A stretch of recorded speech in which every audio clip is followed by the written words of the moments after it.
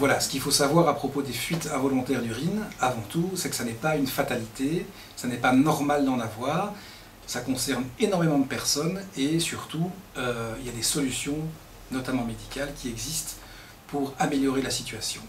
Donc euh, il y a deux grandes sortes de fuites d'urine classiquement qui sont décrites. D'une part, on a ce qu'on appelle l'incontinence d'effort. L'incontinence d'effort, c'est un problème qui survient lorsqu'on tousse, lorsqu'on éternue, lorsqu'on soulève une charge un peu lourde, lorsqu'on fait un effort avec augmentation de la pression dans l'abdomen, eh bien, il y a une petite fuite d'urine qui peut se produire et qui peut être très désagréable.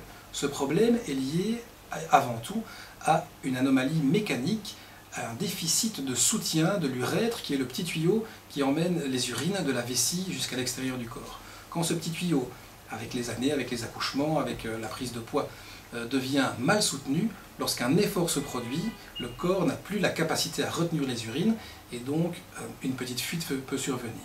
L'autre grande famille d'incontinence, c'est l'incontinence d'urgence. Dans l'incontinence d'urgence, on n'est plus du tout dans un problème mécanique, on est dans un problème fonctionnel, donc de fonctionnement de la vessie. La vessie ne fonctionne plus de manière appropriée, elle ressent les signaux euh, de remplissage de manière anormale et typiquement une patiente qui souffre de fuite soit d'urgence urinaire, soit d'urgence urinaire accompagnée de fuite involontaire d'urine, cette patiente va décrire les symptômes suivants. C'est une patiente qui ne peut plus se retenir comme avant.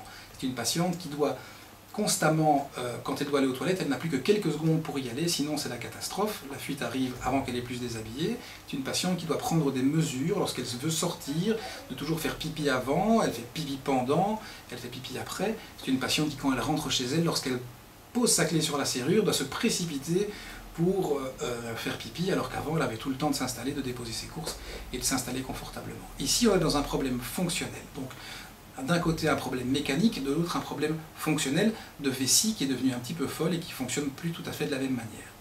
Ces deux problèmes peuvent être déjà très fort améliorés par une prise en charge de kinésithérapie, de rééducation du périnée.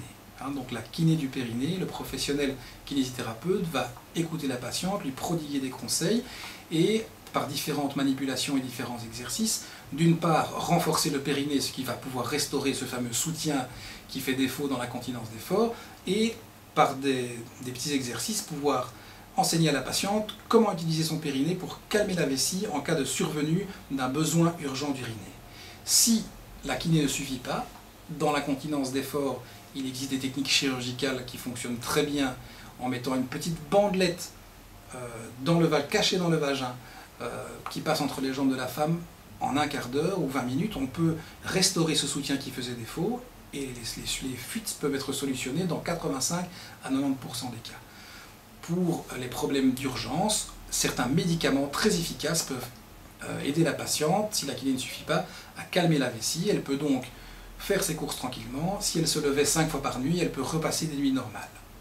Et donc, euh, euh, un message très important qu'on essaie de transmettre à nos patientes à la clinique du Périnée de Saint-Pierre, c'est qu'effectivement, non, euh, les fuites urinaires ne sont pas quelque chose qui est lié forcément à l'âge, ce n'est pas quelque chose de normal qui est censé arriver quand on vieillit, c'est un problème qui n'est pas normal, qui est très difficile à vivre, et les solutions simples que je viens d'exposer euh, peuvent changer radicalement le confort de vie des patientes, elles peuvent de très malheureuses devenir très heureuses simplement en faisant quelques petits exercices ou en prenant un comprimé euh, par jour ou en faisant une petite opération chirurgicale, et c'est important qu'elles puissent être au courant de tout cela.